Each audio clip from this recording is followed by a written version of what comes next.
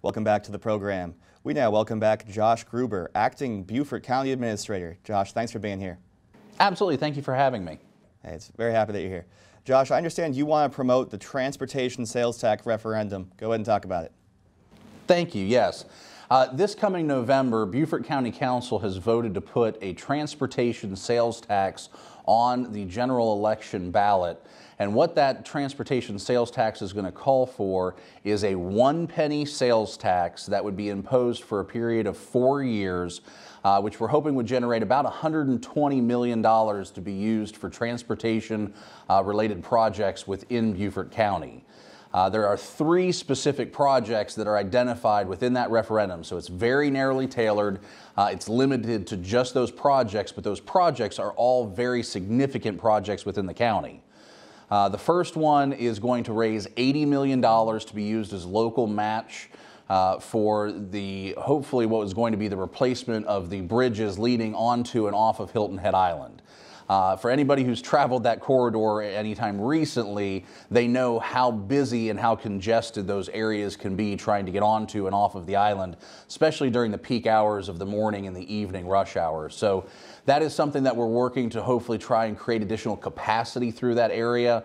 The additional capacity is going to allow for a faster uh, commute time, uh, which is going to be highly beneficial to that area. So $80 million for the uh, replacement of the Hilton Head bridges. We're also then looking at 30 million for roadway improvements for the Lady's Island corridor. And that's essentially US 21 from the Woods Memorial Bridge to the Chowan Creek Bridge. And again, anybody who's driven that corridor anytime recently, especially in the mornings or in the evenings, understands just how congested that area is with traffic. And so there's a series of projects that have been identified as part of a study that was completed a couple of years ago uh, that would be funded with that $30 million. And then lastly, there's about $10 million that would be used for the installation of sidewalks and multi-use pathways uh, along various roads all throughout Beaufort County. Uh, so there are there are projects that are going to touch and concern every major portion of Beaufort County, and then there are two very large projects that are going to address what we believe are the most pressing traffic concerns facing Beaufort County today. Josh, everybody wants to see an improvement to their personal commute. How did you identify areas for improvement on this deal? Sure.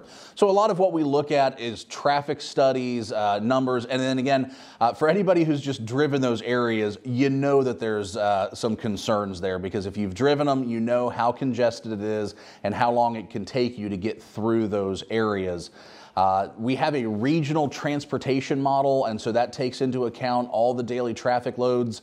Uh, for example, just recently, we almost hit 70,000 vehicles in one day crossing uh, the bridges to and from Hilton Head Island. And so, with that kind of volume of traffic, the infrastructure that's in place just can't support it from a capacity standpoint. Um, we actually have some very interesting statistics that we got from the, the South Carolina Department of Transportation that show that 80% of the time there is more traffic on US 278 going on to and off of Hilton Head than there actually is on I 95 crossing the Georgia South Carolina border. So, again, that's not all the time, but 80% of the time there's more traffic on that roadway than there is on I 95. And so we know that something needs to be done to increase the capacity in that area. Josh, we're inside of a minute, but while that's a tremendous stat, tell me, why is this going to be a, a consumption tax, a sales tax, instead of a property tax? Well, the sales tax is actually what we would argue probably the, the best way for Beaufort County citizens to fund this kind of program. When you look at the other options that are available to us, uh, bonding the debt or doing some kind of other direct debt, that 100% of that debt service would be upon the property owners within Beaufort County. By utilizing a sales tax, we're able to tap into outside revenue, and that's that's revenue that's generated by tourists and visitors who are coming to this area and utilizing those roadways as well, but they may not own property here, so they're not paying property taxes.